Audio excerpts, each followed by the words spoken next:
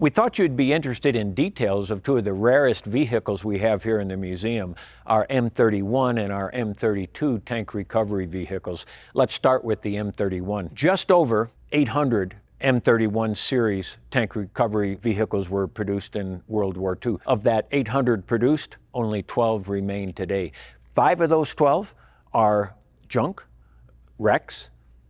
Of the seven other survivors, Ours is the most complete restoration, the best example of the original M31.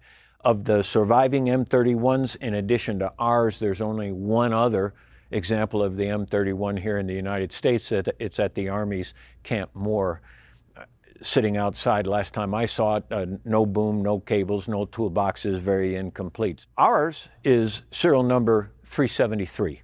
It was converted by Baldwin Locomotive Works in June of 1943 from a basic M3 medium tank. After conversion, this M31 was deployed to the Mediterranean Theater of Operations, later deployed to France. When I purchased this M31, it was in exactly the shape that you see it now. It was restored in France.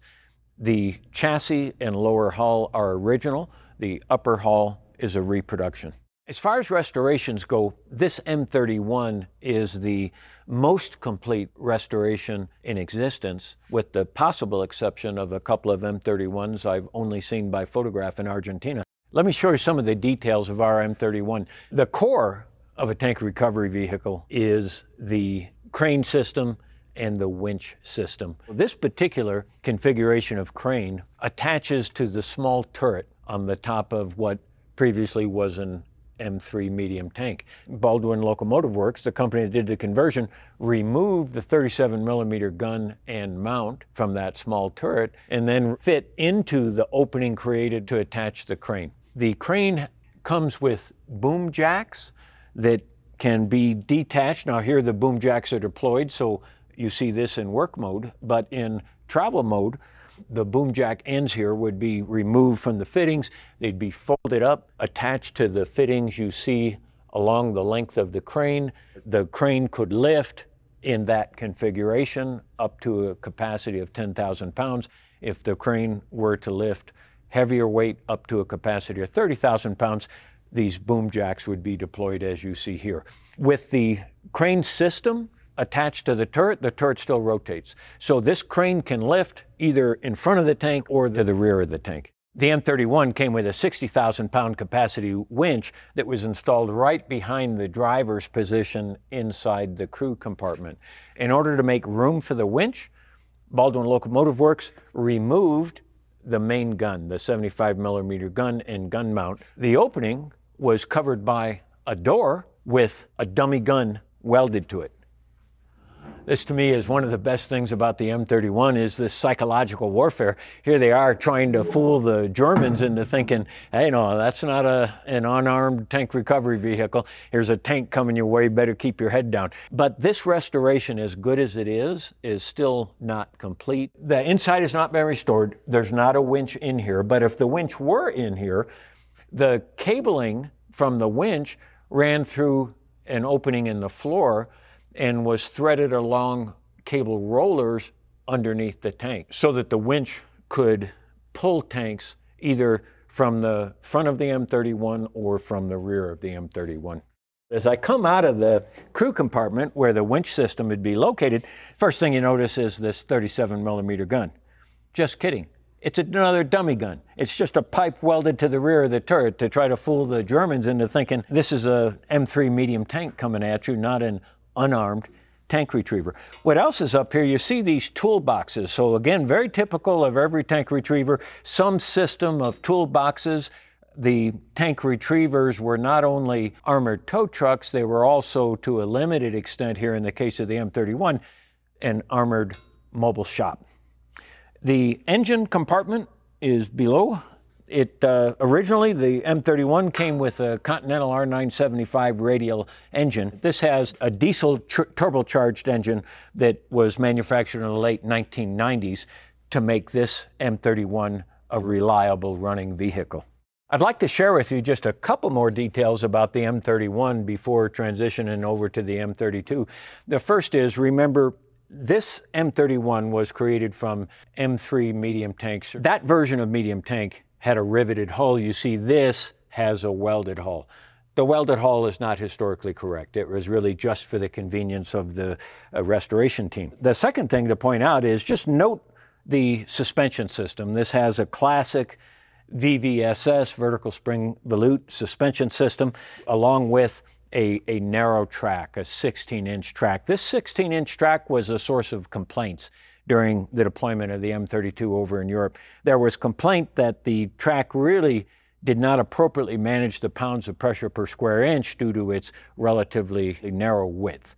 That covers the highlights of the M31 series of tank recovery vehicles. It wasn't a perfect design, but it was the very first dedicated TRV in American history, and it wasn't bad. Now let's talk about the second dedicated tank recovery vehicle in American history, the M32 series. Ours is serial number 611, manufactured by Ford Motor Company as a first generation M4A3 Sherman tank. You can see the trademarks typical of an M4A3 first generation tank. The front glacis is sloped at 60 degrees. Second generation Sherman tanks had the front glacis slope adjusted to 47 degrees. With this steeper slope in the first generation tank, that resulted in hatch protrusions that you see here that were ballistic weak points. As the vulnerability of these ballistic weak points came to be appreciated, we reinforced the ballistic weak points by either manufacturing additional armor plates in the factory or retrofitting these additional armor plates in the field. We don't know if these were factory manufactured or if these were field modifications. The core of the M32 tanker retriever is its crane system and its winch system. To dig into details of these, I'm going to defer to someone more knowledgeable about it than I am, Mike Lamb, our restoration shop supervisor. Mike, why don't you talk to people about what the components are and how the systems work? Sure, Dan. Okay, what you're looking at here is an 18 foot long, 30,000 pound lifting capacity boom. It's an A-frame configuration mounted to the front slope of the uh, recovery vehicle. The size of this boom is 5 and 9 sixteenths inches, which is up from the earlier models 4.5 inch because they tended to bend when you got a heavy weight on them. This up here is the lifting arm and cable that hooks to the lifting drum on the track assembly. So what happens is uh, you take this cable loose from its stowed position, unthread it, it would drop down and go around the drum and connect. And as the tank drives forward, or the recovery vehicle drives forward, excuse me, it will pull the boom in its forward position. To do the same thing to drop it, you just drive in reverse. Next, let's talk about the winch system. The M32 had a Garwood Industries 60,000 pound capacity winch located in the center of the crew chamber below the turret. We're going to climb up and look at that winch system, but before we do, some of the components of the winch system are here on the bow. I'll refer to the winch cable as a drag line in this case, and here's the drag line door. So the winch cable would come from that winch out the drag line door, thread over this roller system assembly, and extend then to connect onto something in front of the tank. There are two other ports the crew could thread the winch cable through to exit the tank. Each of those ports are located on the turret. On the front of the turret, there were two versions of turret port. There was an original narrow open shaft called a turret shaft. On this example, we see a wider turret door that could be opened and closed as needed. On the rear of the turret is a second smaller port to thread the drag cable to the rear of the M32. Calling this a turret is a bit of a misnomer. It is referred to as a turret, but it doesn't rotate. It's a fixed turret or a dummy turret. Originally, the turret was formed from flat armored plates welded together. You see this turret has curved cast armor, indicating that it's a later model conversion to an M32. Most of this turret is open turret, no cover at all. That's exactly how it was fabricated. Sometimes crew would put some canvas over this open part of the turret, but this was designed to be open turret. The rear of the turret has a hatch and hatch covers. Also in the turret, we'll get into the winch itself. Mike, walk us through the components of the winch system inside. Sure, Dan. What we've got here is our deck plate covering up our 60,000 pound winch uh, drum. Um, you can see it's, it's spooled with one inch cable. Um, in this configuration where the winch cable is coming out the top of this door area, our cable would lay in this sheave right here and out that front hatch door and up to the top of the boom and over the sheave for lifting capability. Once you're done with that and you say you want to recover a vehicle with the main winch out the front of the tank and between the driver and the, and the A driver, you'd have to pull it all back down in here and thread it out this way right along top of the transmission and out that door in between the fairleads out the front that we showed you. If you wanted to do hoisting and towing operations off the back of the vehicle, we're going to use this sheave right here, and the cable would go out this way. So you'd have to reel all this back in and thread it out underneath here and up here over that sheave right there to go out the back, and then again over the sheave on the boom. So now we find ourselves in the driver's compartment.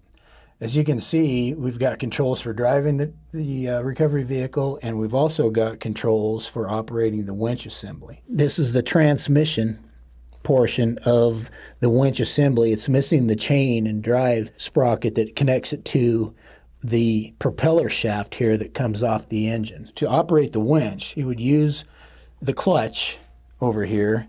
At the same time, he would use this lever right here, which is our PTO in and out.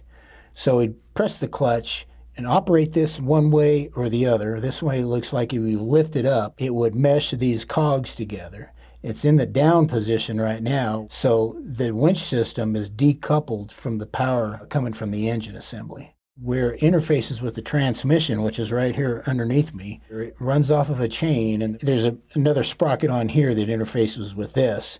So this is the shift mechanism to operate it from reverse to neutral and first and second.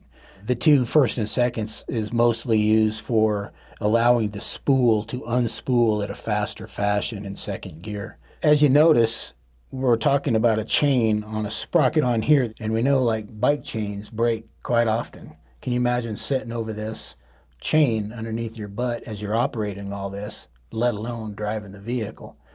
We see back here the spool right behind the driver and as I said earlier, we would have to spool the cable out underneath this beam right here, straight ahead and out that door right there through the fairleads out front.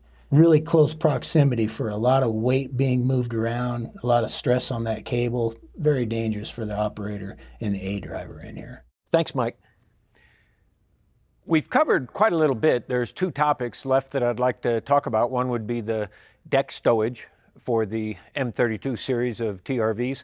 The other would be the suspension system. Let's start with the deck stowage. The M32 came with an 81 millimeter mortar standard issue. This example has had the 81 millimeter mortar removed, but if it were here, you would see fittings to quickly mount as well as quickly remove the 81 millimeter mortar. The function of the 81 millimeter mortar would be to shoot smoke rounds to provide visual cover during recovery operations. The crew would be able to remove it entirely from the tank and deploy it as a ground weapon. This mortar system, there's one on the front, one on the back, was not part of a World War II M32 tank recovery vehicle. This, this is post-World War II edition. Everything else on the deck of the M32 is service-related. Vice, this particular example doesn't have an anvil. Often an anvil would be mounted on the other fender. You see towing cables. You see uh, extra road wheels, sprockets, track segments, crowbars. Toward the rear of the M32, you see oxygen and acetylene cylinders, components of an oxyacetylene torch assembly used to break apart tracks. You can see the oxyacetylene torch in action in our M36 tank destroyer restoration video. Another feature of our M32 that caught our attention as we dug into details while preparing this video is the track and suspension system. The M32B3 that this was converted to by Press Steel Car Company in 1944 had a VVSS vertical volute spring suspension system, not a HVSS horizontal volute spring suspension system. Ours has the HVSS system, so how did this happen? In early 1945, the United States already was preparing to invade Japan with a target invasion date of November 1945. As part of that preparation, the Marine Corps requested tanks with HVSS track and suspension systems as well as tank recovery vehicles with HVSS suspension and track systems. The Ordnance Department wanted to support the Marine Corps request and ordered a retrofit as a pilot, uh, as a test vehicle, ordered a retrofit of one M32B3 with an HVSS uh, uh, system and the wider 23 inch track. That retrofit was successful. Based on that successful experience, the Ordnance Department ordered new production of 80 M32A1B3s. Those 20 new production tank recovery vehicles were manufactured, but by the time they were manufactured, the war was over. These 80 new production M32A1B3s were never sent overseas. This is not one of those new production M32A1B3s. This is truly, we know this started as a first generation M4A3. It was converted to an M32B3. So how did it end up with an HVSS system? Well, we don't know exactly when it happened, but we do have some clues. At the end of World War II, the United States provided 400 surplus M32B3s to friendly countries under the 1949 Mutual Defense Assistance Program. Among the countries to whom we provided these were Israel. We found three main clues that would lend us to believe that this is an IDF retrofit. One of them would be the mortar tubes up here. We've found pictures of only IDF forces having this type of arrangement of mortar tube. As Dan said earlier, the 81 millimeter mortar was removed from this particular variant. So the second clue was this HVSS track system on here was also utilized with the IDF. Like our M51 Super Sherman we have at the shop for a parade vehicle, it has been retrofitted in the same way with this type of suspension. So that was the second clue. The third clue that really brings us in, besides the pictures, are the motor that's currently inside here. It's a VT460 Cummins engine that was built in the 1950s. It was going to be used for over-the-road trucking, but it never really found a home. When the IDF came about, and they needed a bigger engine for what they needed to do with the Shermans and this re recovery vehicle. The VT460 found its home in this variant right here. Originally, this had the commonly known uh, Ford GAA 1100 cubic inch engine. We're pretty solid about this being an IDF retrofit. That concludes our presentation. All of you are invited to come see in person our rare M32A1B3 and our equally rare M31 tank recovery vehicles. For those of you that can't come in person, we will continue to share as much as we can about the 500 vehicles in our collection with future YouTube videos.